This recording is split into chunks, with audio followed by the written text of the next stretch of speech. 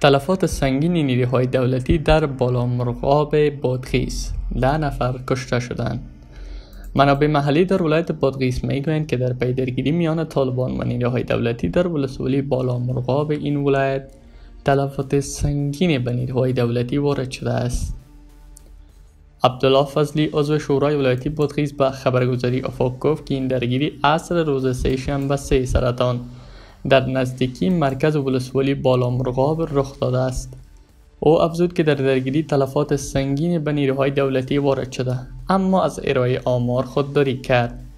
در همین حال زیاودین اکوازی نماینده بادغیس در مجلس نمایندگان می‌گوید که در نتیجه یک کمین جنگیان طالبان در ولسوالی بالامرغاب این ولایت ده نیروی دولتی کشته شدند او افزوده است این کمین که در دو کیلومتری مرکز بالامرغاب رخ داده و در آن پنج نیروی دولتی نیز زخمی شدند و گفته آقای اکازی کشته شدن و زخمیان شامل نیروهای ارتش کماندو و قطعات ویژه پلیسند مقام های محلی بادغیس تا اکنون در این زمینه چیزی نگفتند خبرگزاری افق در تماس با سخنگویان والی بادغیس موفق به انجام گفتگو در این زمینه نشد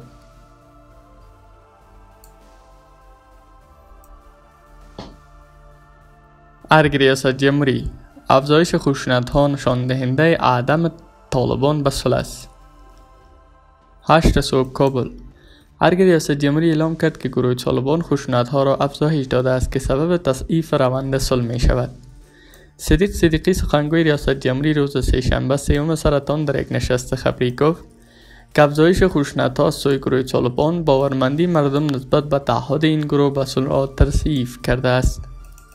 سخنگوی ریاست جمهوری از گروه طالبان خواست که در مورد افزایش خشونت ها به مردم پاسخ بگوید و موقفش را روشن کند به گفته او طالبان تعهد کرده بودند که خشونت ها را کاهش می دهند صدیق صدیقی افزود خشونت به هر میزانی که باشد به زندگی مردم افغانستان و تلاش های صلح که حکومت و مردم افغانستان در پیش گرفتن آسیب می رساند. روز گذشته شورای امنیت ملی اعلام کرد که در نتیجه پیش از 400 حمله گروه طالبان در جریان یک هفته گذشته که در 32 ولایت صورت گرفته است. 291 نیروی امنیتی کشته شده و 550 تن زخم برداشتند این شورا هفته گذشته را خونین ترین هفته در 19 سال پسین اعلام کرده است. سخنگوی ریاست جمهوری گفت که گروه طالبان با راه اندازی صدها حمله در یک هفته اخیر نشان داد که این گروه هنوز هم به خواست مردم افغانستان برای برقراری صلح پایدار و ختم جنگ تعهد ضعیف دارند. او از جانب دیگر گفت که حکومت افغانستان تعهد جدی برای تأمین صلح دارد و تا اکنون گام های موثر بزرگ و اساسی را برای صلح برداشته است. اما برعکس اقدامات طالبان در تناسب با آن خیلی اندک بوده است. به گفته او خواست مردم حکومت افغانستان و جامعه جهانی از طالبان این است که تعهد خود را برای صلح در عمل نشان دهند.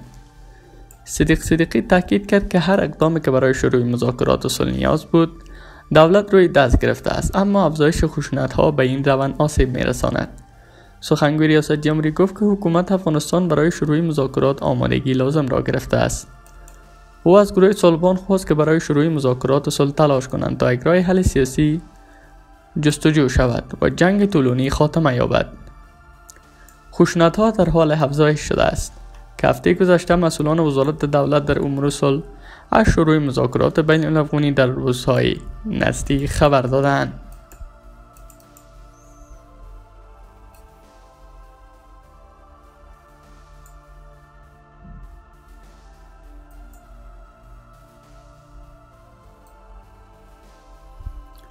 روایت جان بولتن از صلح طالبان و امریکا. ترامپ سردرگم بود.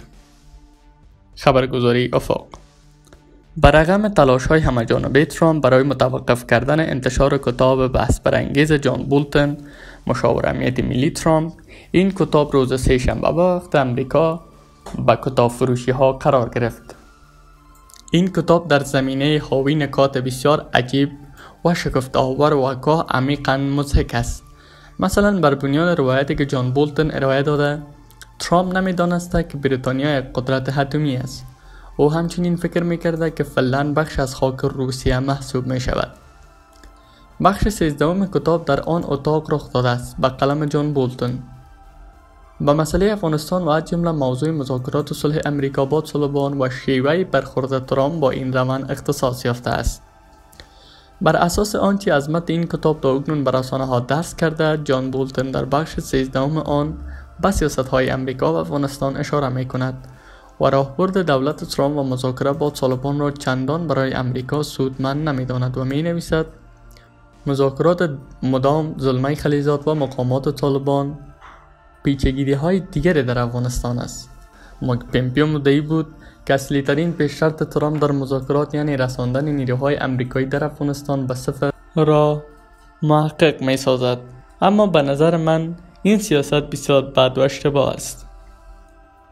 جان بولتن در عین حال به عدم قاطعیت و سرگرمی ترامپ در مذاکرات با طالبان اشاره می کند و می نویسد در یک از جلساتی که امرای ترامپ و پاتیر ناشان مقام وزارت دفاع امریکا حضور داشتم او گفت قصد داشت آخرین وضعیت مذاکره با طالبان و موضوعات کلیدی را تشریح کند.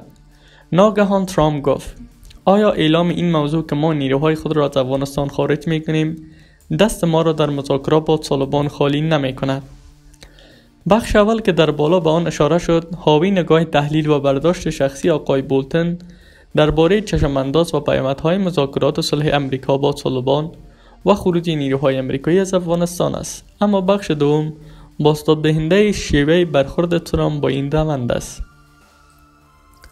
ترامپ بر بنیاد روایت جان بولتن هیچ تصور نسبت به دورنمای صلح با طالبان و نیز خروج نیروهای امریکایی از افغانستان نداشته است. او در این باره سردرگم فاقد قاطعیت لازم و دچار تردید بوده است.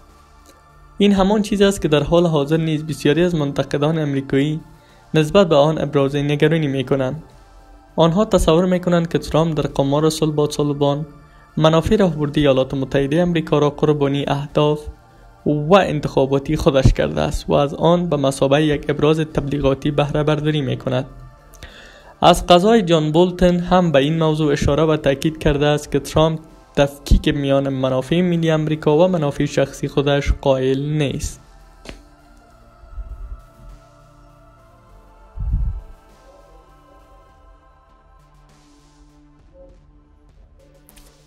چرا آزادی زندانیان طالبان کمکی بر روند صلح نمی کند؟ همه ناظران معتقدند که روند صلح افغانستان به نقطه حساس مهم و سرنوشت ساز رسیده است. دولت پس از آتش بس کوتاه مدت ایامی در قبال آزادی زندانیان طالبان انعطاف بیشتر نشان داد و این امر امریکا و طالبان را به شکست شدن بنبست امیدوارتر کرد. با این حال هنوز باید حدود 2000 زندانی طالبان از سوی دولت آزاد شوند. تا آن گروه برای حضور میز در مذاکرات مستقیم با دولت برای تعیین نقشه رای آینده سیاست و قدرت در افغانستان آماده شود. در این میان بعید است که مسئله فقط تکمیل رقم 5000 نفری زندانیان باشد که باید از سوی دولت آزاد شود.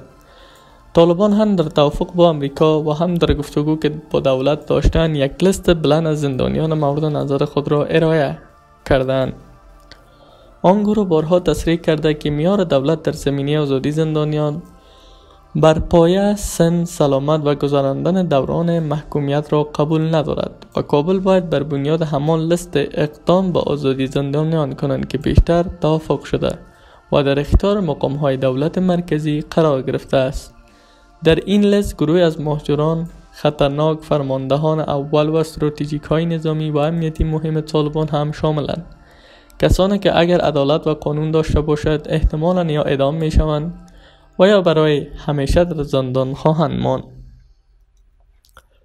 با توجه این وضعیت شمار از دیپلمات های خارجی می‌گویند که روحی برخ از زندانیان طالبان که متهم به جرایم خشونتبار هستند به ضرر اصل در افغانستان است. این دیپلمات ها به خبرگزاری روی ترس گفتند که قدرت های غربی باید از دولت افغانستان برای آزادی زندانیان طالبان که متهم به جرایم خشن هستند حمایت کند این منابع که خواستن نامهایشان فاش نشود افزودن که گرچه تا اکنون اقدامات از سوی دو طرف در زمینه تبادل و رهایی زندانیان انجام گرفته اما باید مقامات امریکا و افغان از این روند حمایت کند. سپاس که تا این دم با ما بودید. برای ویدیوهای بیشتر channel ما رو subscribe نمایید.